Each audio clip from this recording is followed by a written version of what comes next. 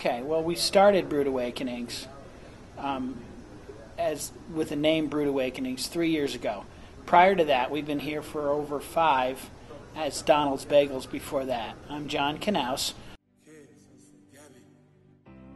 You know, the, the, the population, as you call it, is a good word for it. It's a, you know, the customer base are really our friends. The students, uh, you know, we have, we continue to have a great relationship with them and love seeing more of them come on into the school.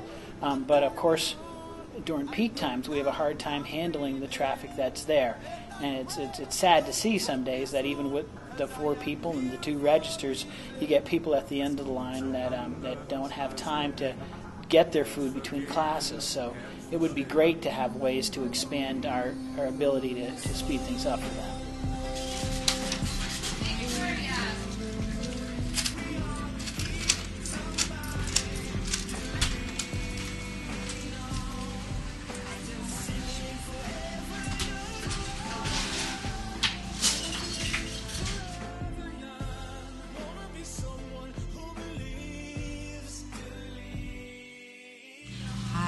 Is Renee, and I've been with Brewed Awakenings for almost six years. I'm the manager. We provide food service to the community, college community here, students, faculty, staff, everybody. My name is John Lewis. My title is Associate Vice President for Business and Finance, and I've been here um, 26 years. Uh, because I think the bottleneck becomes when they're preparing food. So there's only one small workstation, so that means only one person is actually preparing the sandwiches. Whereas if they had a second or a larger area, then more people could be in the actual sandwich production part of it. We obviously pack four people in a little, you know, in a little triangle as you've as you've seen it. You know, we have one working coffee, one sandwiches, one running each register, doubling to do the frozen drinks behind them as needed. Um, that's the maximum we can put in there. If I could put five, I would simply because we want to serve as many people as we can at that time.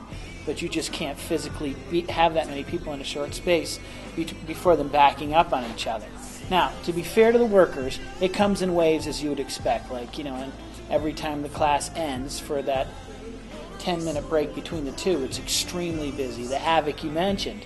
And then, of course, in the middle of class, it's not that busy, so there's time to restock, you know, for people to go out and take a break and all. So it's not a crazy situation, but of course, everyone would like a little more elbow room. Yeah. At least two people doing the same thing, whereas one person, it's only space for one person. It's not new technology. Of course, you know that it it got started by Henry Ford. The assembly line, of course, where you would have somebody greet the customer, um, put their food together, and send it on down. Put the, perhaps put the toaster right there in the line, so the bagel toasts up and is buttered afterward. Or the sub roll, we've expanded our offering to a lot of wraps and all. Then that's topped off, and then a register person takes it at the back. You wouldn't have all that turning around that we have to do, where the you know where the order is called out and the person makes it and has to turn around, and it would just be more ergonomically correct, where everybody's doing a part of the order, and thus you can move things along, probably double our speed if we were able to do that. It's just simply not possible with this with the size that it is right now. Right now we have to make the food behind, take the order, make it, and pass it on up. So every sandwich is made one by one. It would you know it would increase exponentially if everybody could start working on a sandwich and that could just go through the line. I guess anything's possible. I don't see an easy answer. I've taken a look at it. I mean, it was built as somewhat of a novel concept. Each school in their new building were incorporating a small coffee bar, and I think it was intended to be just that a coffee bar.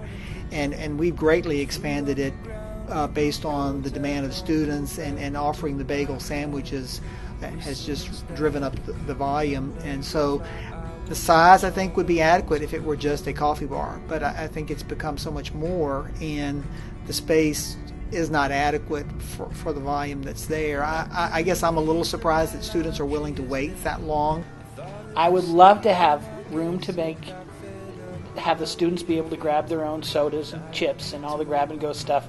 That doesn't, you don't need to have someone grab it for you. We don't need to be human vending machines. I'd like to be able to have more area so that we could, you know, we could process the food and, and serve it out more effectively. Um, but I don't want any of this to come at the expense of us not being here or being moved or something like that. So if that's possible, yeah, we'd love it. In the meantime, we're just grateful to be here and love the students. If, if there's a way to make it a little bit bigger and still make it look like it fits or was intended to be that. I mean, you can do some things and, and they then then it takes away from the look. I think all of us are very proud of the way Schewel looks, the way it's been maintained over the past five years since it's been in existence, and I, I don't think we want to do anything to take away from that. Um, and, and, and I think it's great that the Brewed Awakening has been so popular. That means that they provide a good product, um, and students like that. And so I don't want to do anything to, to hurt that. Um, and certainly anything we can do to expand it to make it a little bit more efficient would, would be my dream. As coping with the small space, we just we have a system uh, being able to intertwine back there with each other. We just deal with it on a daily basis. As far as what I'd like to see changed around here, bagging that space is just to allow us a larger prep area so that we can serve the customers better, get them out of here faster. Um, maybe by moving the drink cooler out, a prep area, put the behind the prep area. I mean, that's that's what I'd like to see done. It's humbling to think that you guys, while you're, you know, being customers to us, are concerned for our well-being as a, as a company, and that is nice.